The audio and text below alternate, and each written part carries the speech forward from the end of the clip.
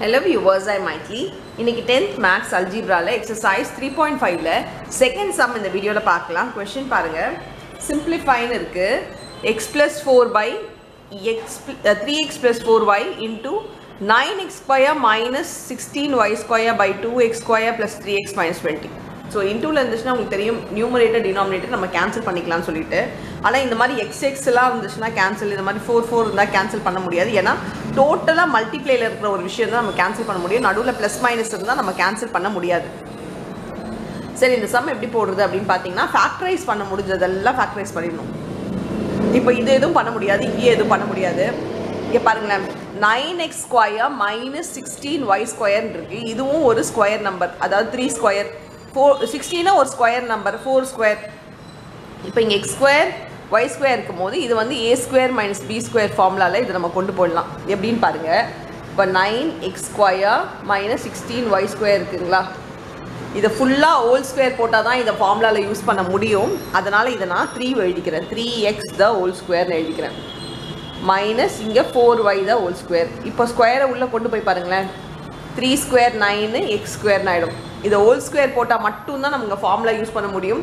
இப்போ பார்த்தீங்கன்னா இது A square minus B square ஃபார்முலாவில் இருக்குது A square minus B square formula என்னென்னு பார்த்தீங்கன்னா A plus B into A minus B அப்படின்னா இது டோட்டலாக ஏ இது டோட்டலாக பி இதுக்கு எப்படி எழுதலாம்னா x three x plus four y a plus b into a minus b so இந்த nine x square minus sixteen y square பதிலாக நம்ம எப்படி மாற்றி எழுதிக்க முடியும்.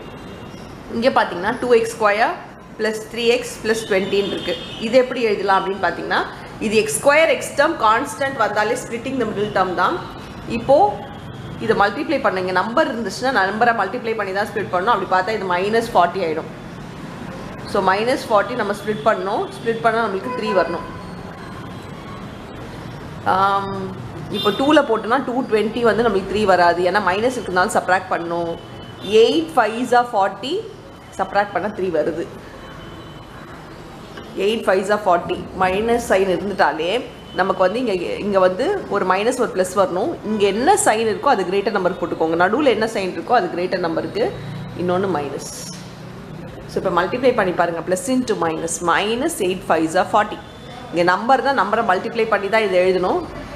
இப்போது ஸ்ப்ளிட் நம்மளுக்கு சப்ராக்ட் பண்ணால் இது வரணும். எயிட் மைனஸ் ஃபைவ் த்ரீ வந்துருச்சு. ஸோ இப்போ மல்டிப்ளை ஒரு விஷயம் பண்ணதுனால அந்த நம்பரை நீங்கள் இதில் டிவைட் பண்ணிக்கணும். இப்போ டூவை நம்ம இங்கே மல்டிப்ளை பண்ணியிருக்கோம் இல்லையா? யூஸ்வலாக பண்ண மாட்டோம். இங்கே இருக்க நம்பரோட தான் ஸ்ப்ளிட் பண்ணுவோம். ஆனால் ஒரு விஷயம் நம்ம மல்டிப்ளை பண்ணதுனால அதை நீங்கள் டிவைட் பண்ணிக்கோங்க. டிவைட் பண்ணால் டூ ஃபோர் சார் எயிட்டு இங்கே மைனஸ் ஃபைவ் பை டூ நம்ம டிவைட் பண்ண முடியாது. அதை அப்படியே எழுதிக்கலாம். இங்கே எக்ஸ்போர்ட் எழுதிக்கலாம் இது முன்னாடி. இப்போ பாருங்கள் இதை.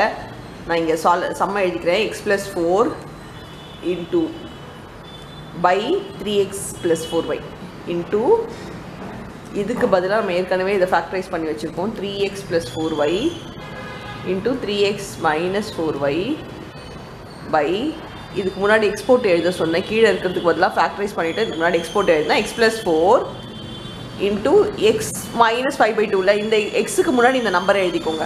அப்போ இது என்ன ஆகிடும் டூ எக்ஸ் மைனஸ் ஃபைவ் ஆகிடும் இதுக்கு முன்னாடி எக்ஸ் போடும் போது அந்த எக்ஸுக்கு முன்னாடி இந்த நம்பரை மல்டிப்ளை பண்ணிங்கன்னா டூ எக்ஸ் மைனஸ் ஃபைவ் ஆகிடும்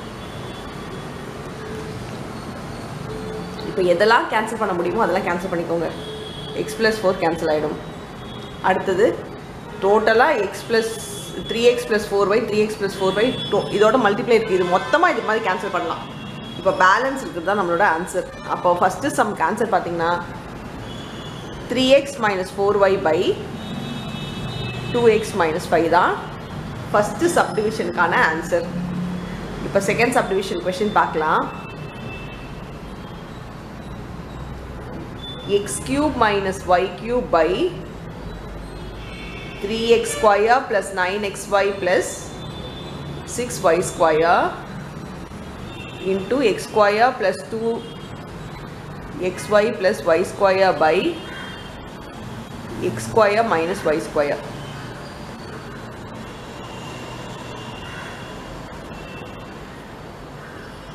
இங்கே a cube minus b cube ஃபார்முலாவில் இருக்குது இங்கே a square minus b square ஃபார்முலாவில் இருக்குது ஸோ இந்த ரெண்டு ஃபார்முலாவும் என்னென்னு பார்த்தீங்கன்னா x cube minus y cube equal to x minus y into இன்டூவில் வர ஃபார்முலா தான் எழுதணும். Into x square first minus இருந்தால் முதல்ல மைனஸ் வரும்ன்ற ஃபார்முலாவில் உங்களுக்கு நான் என்னோட எயித் வீடியோ நைன்த் வீடியோ பார்க்குறவங்களுக்கு நான் சொல்லியிருக்கேன்.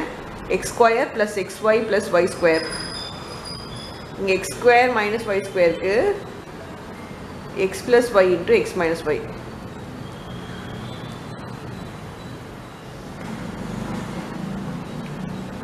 இங்கே வந்து இதுவே பார்த்தீங்கன்னா a um, plus b whole square ஃபார்முலாவோட ஆன்சரில் இருக்குது எப்போவுமே ஆன்சரில் இருந்தால் கொஷினில் எழுதணும் கொஷினில் இருந்தால் ஆன்சர் எழுதணும். இது எதோட ஃபார்முலான்னு பார்த்தீங்கன்னா a square sorry a plus b the whole square ஃபார்முலாவில் இருக்குது a square plus two a b இல்லை வரும்ல அப்போ two x y plus y square